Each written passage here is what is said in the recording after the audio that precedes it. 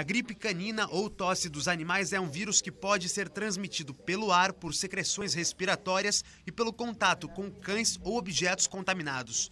Os sintomas variam e devem ser observados pelos donos dos pets. A gripe é um, uma doença de, de sistema respiratório, então o animalzinho, quando ele estiver com o problema, ele vai desencadear uma dificuldade respiratória, uma tosse seca muito persistente.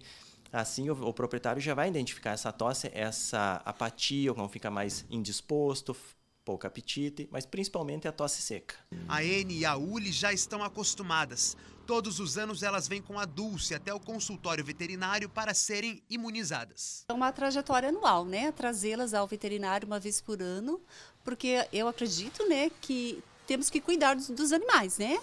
E principalmente dos cães que convivem lado a lado com a gente dentro de casa, né? Tem um, uma parceria intensa, né, com a gente, né? Então não tem como não trazer. A recomendação é de que os animais sejam vacinados ainda filhotes, com aproximadamente 80 dias de vida em duas doses. Depois deste período, só é necessário o reforço anual.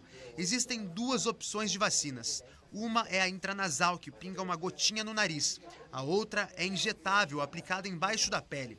As duas têm a mesma eficácia e devem ser reforçadas todos os anos. A vacina pode levar de 7 a 15 dias para fazer efeito, tempo que o sistema imunológico precisa para se adaptar ao medicamento que protege o organismo por até um ano. O procedimento não é recomendado para pacientes debilitados ou com alguma doença crônica. Por isso é importante prevenir a doença e alguns cuidados básicos podem ajudar. O veterinário que vai fazer a vacina, ele tem que avaliar o animal antes dando essa, esse, essa, essa, parte clínica apto a receber a vacina. Então, todo animal que tem ou um excesso de vermes, ou alguma doença crônica, ou algum sinal, ou alguma medicação que ele está em tratamento, esse já não está apto a tomar a vacina.